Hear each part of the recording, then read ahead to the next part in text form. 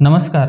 दख्खन टाइम्समध्ये आपलं स्वागत आहे. धाराशिव जिल्ह्यातील लोहारा तालुक्यातील कानेगावची ओळख वारकरी संप्रदायातील माऊली महाराज यांचं गाव म्हणून संपूर्ण महाराष्ट्राला आहे.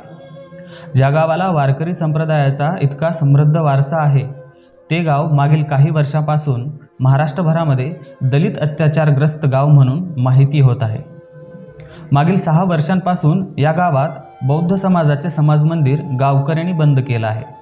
तसेच त्यांनी दलित बांधवांना गावामध्ये बाबासाहेबांची जयंती करण्यासही मज्जाव केलेला आहे.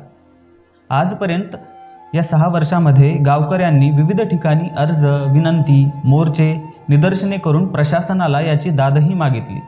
तरीही प्रशासनाच्या अनास्थेमुळे हा प्रश्न तसाच राहिला. यातूनच गेल्या वर्षी एका बौद्ध तरुणाला जीवही गमवावा लागला.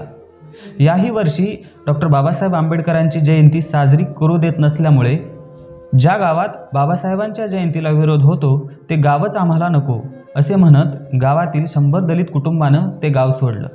आणि कानेगाव ते धाराशिव जिल्हाधिकारी कार्यालयाकडे लाँग मार्च काढला जो देश संविधानावर चालतो घटनेवर चालतो त्या घटनाकर्त्याच्याच जयंतीला विरोध होत असेल आणि प्रशासन लक्ष घालत नसेल तर नक्कीच ही शर्मेची बाब आहे.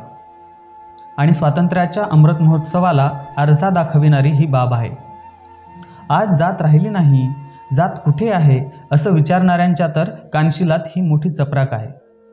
एकीकडे जैन धर्मियांच्या सणाला दबाव टाकून मटणाची दुकाने बंद करत दुसऱ्याच्या आहार स्वातंत्र्यावर गदा आणायची आणि एकीकडे लोकशाही मार्गाने जयंती साजरी करण्यासही मज्जाव करायचा. यातच या लोकशाहीचे लाभार्थी कोण? असाही प्रश्न दख्खन टाइम्सला पडतो आहे.